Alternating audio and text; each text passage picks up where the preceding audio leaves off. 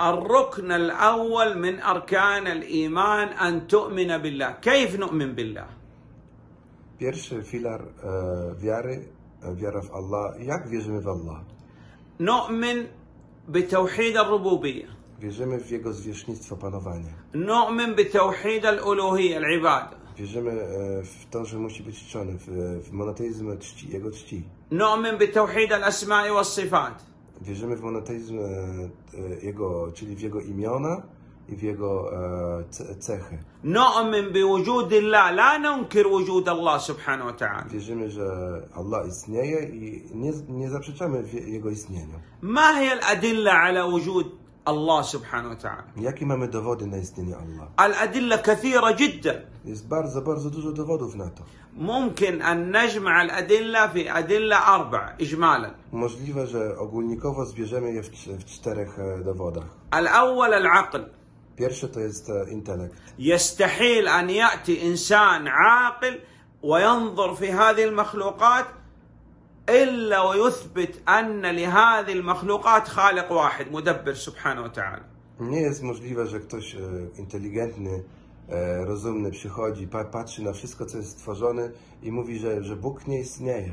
أنت الآن مثلا تنظر في هذا الجهاز آيفون مثلا Na przykład teraz patrzysz na ten telefon iPhone. يعني هذا جهاز صغير لكن يصنع أعمال كثيرة No, takie małe, urządzenie, ale jednak e, jest, je, wykonuje wiele możliwości, أنت czynności. أنت تقول هذا الجهاز الشركة المصنعة لهذا الجهاز شركة يعني قوية Mm, Ty mówisz, o tak, te, firma, która wykonała ten telefon jest bardzo zaawansowana i silna firma. كيف أنت تنظر لهذه الأجهزة ولا تنظر للمخلوقات للإنس للجن للأشجار للجبال Jak to jest możliwe, że ty patrzysz w ten telefon i zastanawiasz się nad nim, a nie patrzysz na, dookoła siebie? هل يمكن أن تكون هذه المخلوقات بلا خالق؟ Czy jest to możliwe, że to, co jest wokół ciebie stworzone, jest bez stwórcy?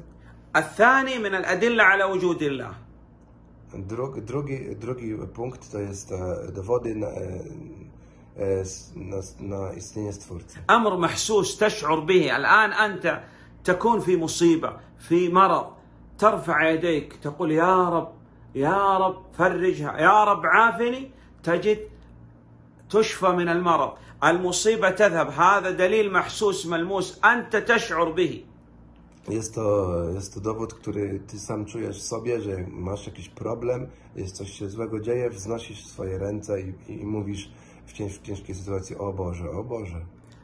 الثالث من الأدلة على وجود الله الفطرة كل واحد منا مفطور مخلوق على أنه مخلوق وأن الخالق هو واحد سبحانه وتعالى Trzeci, trzeci dowód na, na istnienie Allah to jest to, że Allah stworzył nas w ten sposób, że my wiemy wewnątrz, w, nas, w, nas, w naszych samych, taka naturalna dyspozycja, gdzie wiemy, że Bóg istnieje w, w głębi nas samych. الرابع الأدلة من الكتاب والسنة كثيرة جدا في إثبات وجود الله سبحانه وتعالى والله أعلم I czwarty rodzaj dowodów to są to, to co Allah zesłał w księdze i w sunnie proroka sallallahu alaihi wasallam i Allah wie najlepiej.